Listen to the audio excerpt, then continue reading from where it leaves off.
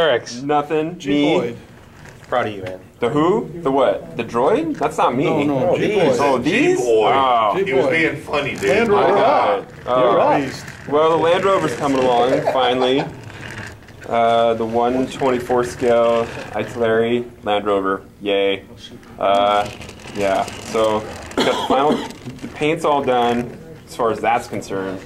Uh, the rack is just dry fit, and uh, I've been playing around with some of the shading on. I don't know what the heck this is, a raft or whatever, but anyway, Coffins. yeah, coffins. It's a dead body in there. Or three of, or three, Yeah. three, because it looks that way. And uh, while stuff has been drying, I've been kind of working on the gas cans, and uh, which these aren't actually on.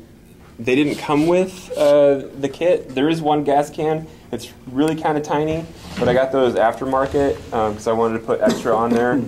Um, and I'm gonna do something kind of different with the front of it because um, I found some pictures of some other uh, Land Rovers, and out in the field they kind of retrofit the bumpers to do some really cool stuff with the gas cans. They actually uh, mount them up front so they could just kind of go up up to the bumper and just kind of they they tie tie them on some somehow with straps.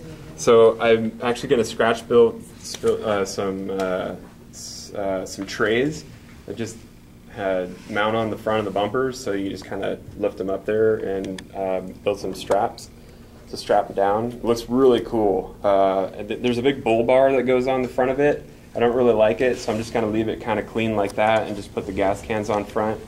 Um, I think it looks really clean like that, and then it's just going to get really dirty. And No hopefully, no, not on those. Not on those. Uh, those you could run. Uh, apparently, you could run without a snorkel.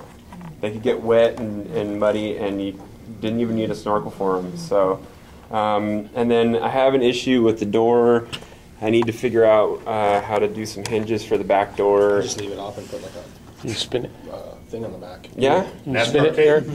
No, like uh, what's that? For the driver It's thing. a cargo net or Yeah, like a cargo net or something. Right. on the back. That's actually not a bad idea. I like that. dead antelope back Called a there. guinea Yeah. Pig. Yeah. Can do something. Something. Can, you- Um, can you spin it so I can get the back? Oh, sure.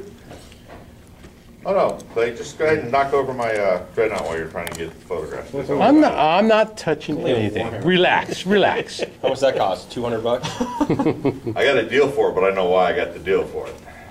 And then, Some um, and then the other. Uh, Somebody's homemade resin copy. The other, uh, I'm, I'm, I'm kind of disappointed that Don's not here because I wanted to show him that I actually have pretty much half the Merc done.